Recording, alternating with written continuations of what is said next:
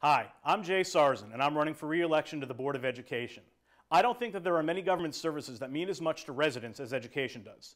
Every parent wants his or her child to be able to reach their maximum potential and achieve their aspirations.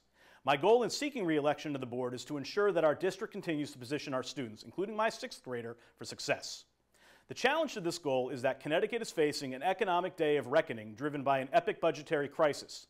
The fallout is that the educational cost-sharing dollars we normally receive from the state to help fund operations are in jeopardy. As of this taping, it is still unclear what our ECS funding level will be, but it's very possible that we'll receive a lower funding level for this year and in the future. While we hold our children's education dear, the board cannot ignore the impact of decreased ECS funding on taxpayers. We cannot expect taxpayers to bear the entire burden of closing this funding gap. So what's the solution? We have to be smarter when it comes to spending. In my roughly five years on the board, I have consistently stated that more scrutiny must be applied to programs to gauge cost versus impact. For example, I support all-day kindergarten. Even though it is expensive, I believe the number of students it serves and the benefits derived far outweigh its costs. Another cost-effective program is ESOL.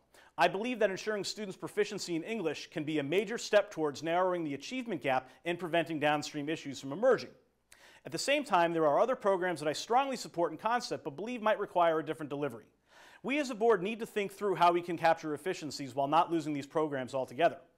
The key to this scenario is bipartisanship.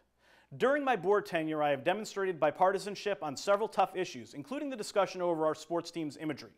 I challenged my colleagues to overcome their philosophical biases and address the concerns of those who thought that the imagery was insensitive and of those who wanted to preserve our team's names and their associated history.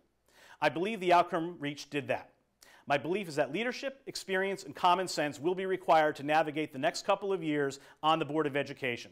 This is why I'm asking for your vote on November 7th. Thank you.